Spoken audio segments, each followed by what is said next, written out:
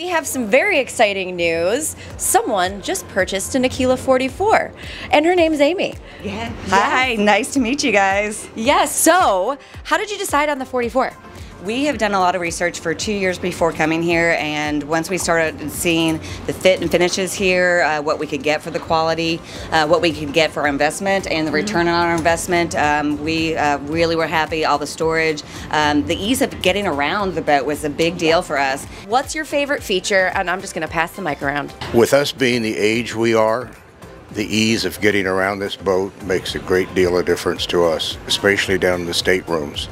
Uh, for instance, uh, this past Thanksgiving, we were down to BVI's and we had a, a boat that was uh, was a challenge for my wife and I. So we really appreciate the way this boat is laid out. If you need more information about Aquila, hit up aquilaboats.com.